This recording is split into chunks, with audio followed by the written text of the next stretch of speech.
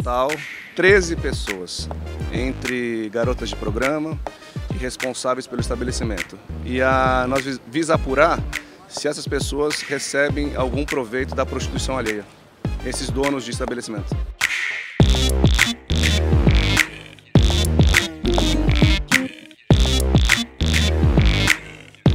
É, esses sete hotéis, na verdade todos com documentação ou vencida ou já embargado e hoje nós fizemos o cumprimento desse embargo.